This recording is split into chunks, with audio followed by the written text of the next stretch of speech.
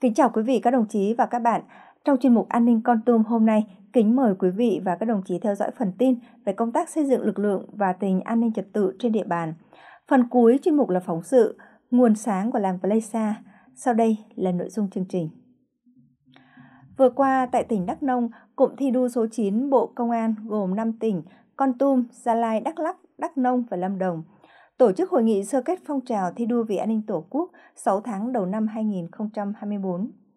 Đại tá Nguyễn Thanh Liêm, Giám đốc Công an tỉnh Đắk Nông và Đại tá Trần Thị Thu Phước, Phó Giám đốc Công an tỉnh Con Tum đồng chủ trì hội nghị. Tại hội nghị, đại diện Công an tỉnh Con Tum, đơn vị cụm trưởng cụm thi đua đã thông qua dự thảo báo cáo sơ kết 6 tháng đầu năm 2024. Theo đó, Công an các tỉnh thuộc cụm thi đua số 9 đã tổ chức thực hiện tốt phong trào thi đua vì an ninh Tổ quốc do Bộ Công an phát động, xây dựng bộ tiêu chí chấm điểm xếp loại thi đua chi tiết cụ thể, đồng thời triển khai kế hoạch hưởng ứng phong trào thi đua sâu rộng, hiệu quả ở từng đơn vị với nhiều cách làm hay, sáng tạo, tạo khí thế sôi nổi giữa các đơn vị.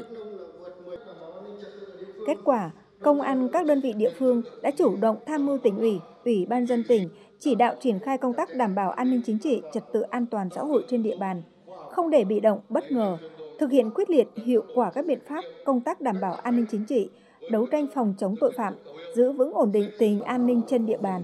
Trong đó, tội phạm vi phạm pháp luật về trật tự xã hội được kiềm chế, kéo giảm so với cùng kỳ năm 2023. Tỷ lệ điều tra, khám phá án đặc biệt nghiêm trọng đạt 94,53%. Thực hiện quyết liệt các biện pháp đảm bảo trật tự an toàn giao thông, không để xảy ra cháy nổ gây thiệt hại đặc biệt nghiêm trọng, chú trọng làm tốt công tác quản lý thi hành tạm giữ, tạm giam. Tại hội nghị, các đơn vị trong cụm thi đua đã trao đổi thảo luận những khó khăn, vướng mắc hiện nay trong triển khai phong trào thi đua vì an ninh Tổ quốc năm 2024 tại từng địa phương, chia sẻ kinh nghiệm hay, cách làm phù hợp và đề xuất giải pháp góp phần nâng cao hiệu quả phối hợp giữa các đơn vị trong thực hiện phong trào thi đua thời gian tới. Phấn đấu hoàn thành và vượt các chỉ tiêu bộ giao, tạo khí thế thi đua sôi nổi trong cụm. Sáng cùng ngày, cụm thi đua số 9 Bộ Công an tổ chức giao lưu thể thao môn quần vợt, bắn súng quân dụng giữa công an các tỉnh trong cụm, tạo khí thế thi đua sôi nổi, giao lưu học hỏi và tăng cường rèn luyện sức khỏe, thắt chặt tinh thần đoàn kết giữa các đơn vị.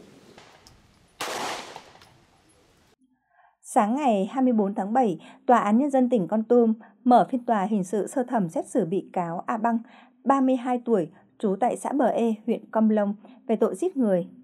Xót xa hơn khi bị hại trong vụ án này chính là cha ruột của bị cáo. Theo cáo trạng, khoảng 13 giờ ngày 16 tháng 9 năm 2023, sau khi uống rượu trở về nhà, A Băng thấy cha mình là ông An Nang vì bệnh xương khớp đi lại khó khăn nên đã đi đại tiện ra quần, gây mùi hôi thối, khiến A Băng khó chịu và nói cha ra suối tắm, nhưng ông An Năng không đi. Bực tức, A Băng đã đập vào ngực và dùng cây củi đánh vào người ông An Năng. A Băng tiếp tục dùng xe máy chở ông An Năng ra bờ suối cách nhà 200 mét để tắm rửa. Khi đến nơi thì ông An Năng bị rớt xuống xe. Lúc này, A Băng tiếp tục dùng chân đạp vào ngực khiến ông An Năng tử vong do vỡ mạch máu tim và dập phổi.